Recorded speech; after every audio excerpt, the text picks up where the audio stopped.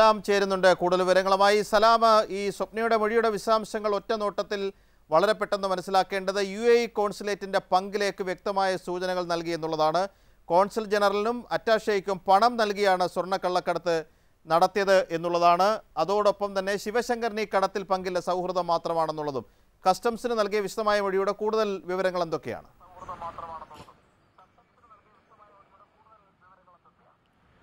PG നമസ്കാരം. വളരെ ഗുരുതരമായ വളരെ നിർണായകമായ മൊഴികളാണ് ഇപ്പോൾ കസ്റ്റംസിന് ലഭിച്ചിരിക്കുന്നത്. ഈ കേസിന്റെ തുടക്കം മുതൽ തന്നെ കസ്റ്റംസിന് ഒരു കാര്യം വ്യക്തമായിരുന്നു. അതായത് യു എസ് കോൺസുലേറ്റിലെ നയതന്ത്ര ഉദ്യോഗസ്ഥരുടെ ഒരു അനുവാദമില്ലാതെ അനുവാദമില്ലാതെ അല്ലെങ്കിൽ അവരുടെ സമ്മതമില്ലാതെ ഇത്തരത്തിൽ ഒരു നയന്ത്ര ബാഗിലൂടെ കള്ളക്കടം നടത്താൻ സാധിക്കില്ല എന്ന് തുടക്കം മുതൽ തന്നെ കസ്റ്റംസിന് വ്യക്തമായിരുന്നു. മാത്രമല്ല ഇത് സംബന്ധിച്ചുള്ള കൃത്യമായ ചില- സൂചനകൾ അന്ന് തന്നെ കസ്റ്റംസ് ലഭിച്ചിരുന്നു. ഇതിന്റെ അടിസ്ഥാനത്തിൽ നയന്ത്ര ഉദ്യോഗസ്ഥരെ ചോദ്യം ചെയ്യുന്നതിനുള്ള നടപടിക്രമങ്ങൾ വിദേശകാര്യ മന്ത്രാലയം വഴി തുടങ്ങുകയും ചെയ്തിരുന്നു. പക്ഷേ ഇപ്പോഴാണ് ഈ ഈ കേസിലെ പ്രധാനപ്പെട്ട ഒരു പ്രതിയുള്ള ഒരാളായ സ്വപ്ന ഈ ഉദ്യോഗസ്ഥരുടെ പങ്ക് സംബന്ധിച്ചുള്ള കൃത്യമായ മൊഴികൾ കസ്റ്റംസിന് നൽകിയിരിക്കുന്നത്. ഇന്നലെ രാവിലെ കൊച്ചിയിലെ എൻ ഐ എ ഓഫീസിൽ വെച്ചാണ് സ്വപ്നയുടെ മൊഴി കസ്റ്റംസ് അധികൃതർ ശേഖരിച്ചത്. ഈ ഈ മൊഴിയുടെ പ്രധാനപ്പെട്ട ഭാഗങ്ങൾ ഇങ്ങനെയാണ്.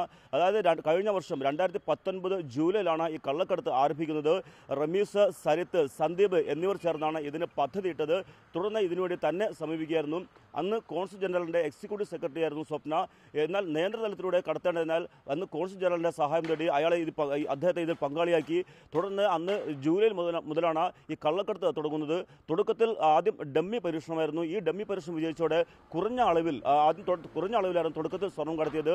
അഞ്ച് കിലോ ഏഴ് കിലോ പത്ത് കിലോ തുടങ്ങിയ എന്നിങ്ങനെയായിരുന്നു. പക്ഷെ പിന്നീട് ഇത് ഇത് പിടിക്കപ്പെട്ടില്ല എന്നുറപ്പായതോടെ ഈ കൊണ്ടുവരുന്ന സ്വർണത്തിന് അളവ് കൂട്ടുകയായിരുന്നു. ഓരോ കടത്തിനും അന്ന് കോൺസുൽ ജനറലിന് ആയിരത്തി അഞ്ഞൂറ് യു എസ് ഡോളറാണ് പ്രതിഫലമായി നൽകിയിരുന്നത്.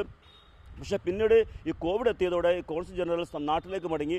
അങ്ങനെയാണ് പിന്നീട് അദ്ദേഹം കോൺസുൽ ജനറലിന്റെ ചുമതല അറ്റേഷയ്ക്ക് കൈമാറി. തുടർന്നാണ് അറ്റേഷ ഈ കള്ളക്കടത്തിലേക്ക് കൊണ്ടുവരുന്നത്. അദ്ദേഹത്തിനും ഇതുപോലെ തന്നെ മാസം ഈ ഓരോ കടത്തിനും ആയിരത്തി അഞ്ഞൂറ് ഡോളർ വീതമാണ് നൽകിയത് എന്നാണ് സ്വപ്ന മൊഴി നൽകി നൽകിയിരിക്കുന്നത്. മറ്റൊന്ന് ഈ ശിവശങ്കറുമായി ബന്ധപ്പെട്ട ബന്ധപ്പെട്ട നിരവധി ചോദ്യങ്ങളുണ്ടായി. ഇതിന് സ്വപ്നം നൽകിയ മറുപടി ഒരു കാരണം ഒരു ഒരു സാഹചര്യത്തിലും ഈ കള്ളക്കടത്ത് കള്ളക്കടത്തിൽ ശിവശങ്കർ ഇടപെട്ടിട്ടില്ല. അദ്ദേഹത്തിന് തങ്ങൾ കള്ളക്കടത്ത് നടത്തുന്ന കാര്യം അറിയില്ലായിരുന്നു. ശിവശങ്കറുമായി അടുത്ത സൗഹൃദമുണ്ടായിരുന്നു പാർട്ടികൾ പങ്കെടുക്കുമായിരുന്നു. ഇതല്ലാതെ ഈ ശിവശങ്കറിന് യാതൊരുവിധ കള്ളക്കടത്ത് പങ്കില്ല എന്നാണ് സ്വപ്ന നൽകി- നൽകിയിരിക്കുന്ന മൊഴി. ഏതായാലും ഈ മൊഴിയുടെ അടിസ്ഥാനത്തിൽ തുടർ നടപടികളിലേക്ക് ഇപ്പോൾ കസ്റ്റംസ് കടക്കുകയാണ്. ഏറ്റവും പ്രധാനപ്പെട്ട കാര്യം നേരത്തെ ഈ പ്രാഥമിക സൂചന ലഭിച്ചതിനെ തുടർന്ന് അറ്റാഷയുടെ പങ്ക് സംബന്ധിച്ചുള്ള പ്രാഥമിക സൂചന ലഭിച്ചതിനെ തുടർന്ന് വിദേശകാര്യ മന്ത്രാലയം വഴി ഇദ്ദേഹത്തിന് മൊഴിയെടുക്കാനായി കസ്റ്റംസ് നീക്കം തുടങ്ങിയിരുന്നു. ഇതറിഞ്ഞ അറ്റാഷെ ഉടൻ തന്നെ ദില്ലിയിലേക്ക് മടങ്ങുകയും ദില്ലി വഴി യു എയിലേക്ക് തിരിക്കുകയും ചെയ്തു. ഇതറിഞ്ഞ് വിദേശകാര്യ മന്ത്രാലയം വീണ്ടും ഒരു റിമൈൻഡർ കൂടി യു എ സർക്കാർ നൽകി. അതായത് ഇദ്ദേഹത്തിന്റെ മൊഴിയെടുക്കുന്നതിന് വേണ്ടി നേരത്തെ കത്തയച്ചിരുന്നു. ഇപ്പോൾ അദ്ദേഹം നാട്ടിലേക്ക് തിരിച്ചിരിക്കുകയാണ്.